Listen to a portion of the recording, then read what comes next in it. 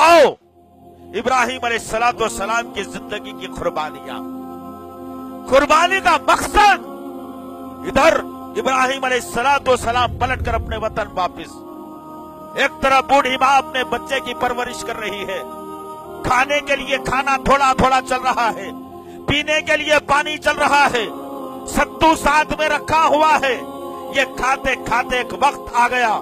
اس بوڑھی ماں کے پاس پانی بھی ختم ہو گیا، کھجور بھی ختم ہو گئے، کھجور کا بورا بھی ختم ہو گیا، ستو بھی ختم ہو گیا۔ اب کھانے کے لالے پڑنے والے ہیں۔ بوڑھی عورت ترس رہی ہے کھانے کے لیے۔ کوئی تو اللہ بھیج دے، کسی کو اللہ بھیج دے، تاکہ کم سے کم دو وقت کا کھانا، دو نوالے کم سے حلق سے اتر جائیں ادھر پلٹ کر دیکھتی کیا ہے، چھوٹا معصوم بچہ جو زمین پر لیٹا ہوا ہے، جس کے نیچے ریت کا بستر ہے، بچھانے کے لیے کپڑا نہیں ہے۔ ریت گرم ہوتی ہے، بچہ چیخ مارتا ہے، گرمی کی وجہ سے پیر مارتا ہے۔ آنکھوں سے آسو جاری ہوتے ہیں پرچے کے حلق کی آواز دبتی ہے۔ ماں پریشان ہوتی ہے، ماں اپنے بچے کو دیکھ رہی ہے اور بھوک سے بھی لگ رہی ہے۔ ادھر بچہ روتے روتے نٹھال ہے، آنکھ سے آنسو جاری ہے۔ زمین پیر پیر مار رہا ہے۔ ان معصوم پیروں کی وجہ سے اس نرم ریت کے چلا پڑ رہا ہے۔ ماں پریشان ہوئی۔ ماں اپنی جگہ سے اٹھی۔ آہستہ آہستہ اپنے بوڑھے خدموں کو ڈالا، جو پہاڑی علاقہ بازو تھا، جہاں چھاٹ کر کے مکمل طور پر اے سی لگا کر، فین لگا کر، پانیوں کی بوچھار کر کے آج صفا و مروا کو بنا دیا گیا۔ آج سے ساڑھے پانچ ہزار سال پہلے کا ذرا تصور کرو عزیزان محترم، قربانی کا مقصد ہمیں تمہیں سمجھ میں آئے گا، مسلمانوں کو سمجھ میں آئے گا۔ ساڑھے پانچ ہزار سال پہلے کوئی لائٹ نہیں تھی نہ کوئی پانی کنواں تھا، نہ کوئی آبادی تھی۔ ایک بوڑھی عورت اپنے بچے کی فکر میں اٹھتی ہے، ایک پہاڑ کی چوٹی پر چڑھ جاتی ہے۔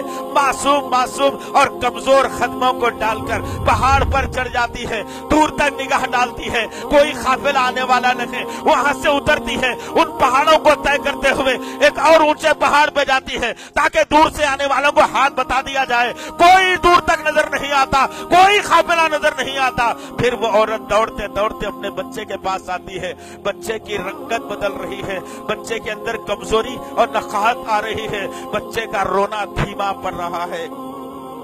ماں پریشان ہے اب ہوگا کیا؟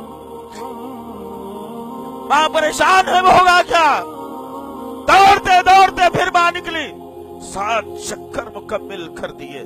ایک بوڑھی اور کمزور عورت اللہ کے لیے قربانی دینے جا رہی ہے اور ساتویں چکر پر اچانک کانوں نے ایک سور سنا، پلٹ کر دیکھتی ہے، خوشی کی انتہا نہیں ہے کہ جہاں معصوم بچہ پیر مار رہا تھا۔ جبرائیل علیہ السلام سلام وہاں موجود اور اپنے پر سے اس ریت میں کڑا کر دیا، جس کی وجہ سے پانی کا چشمہ ابل پڑتا ہے۔ بوڑھی ماں دھیرے دھیرے کشا اپنے نو نہال کے پاس آتی ہے اور اس پانی کو غنیمت پر نعمت جان کر اس ریت سے کٹا بنا دیتی ہے اور کٹا بنا کر زمزم کہتی ہے اور کہتے ہوئے پانی کو رکا دیتی ہے وہ پانی رک جاتا ہے اور ایک کنواں بن جاتا ہے ماں اور بیٹا، کئی دن، کئی مہنوں کئی سال تک صرف اس پانی کے اوپر اپنی زندگی کرتے ہیں۔ میرے اور آپ کے آقا محمد صلی اللہ علیہ وسلم کہتے ہیں کہ میری ماں حاجرہ اگر اس پانی کو زمزم کہتے ہوئے ایک کوئے کے طور پر بنا کر اگر نہیں روکتی تو قسم ہے رب کعبہ کی کہ وہ پانی ساری دنیا میں پھیل جاتا۔ اللہ اکبر، اس پانی کا کیا کہنا؟ کیونکہ اس کے اندر اللہ نے غزہ بھی رکھا ہے، پیاس کو بند کرنا بھی رکھا ہے، صحت بھی رکھی ہے، بیماریوں کو دور کرنا بھی رکھا ہے۔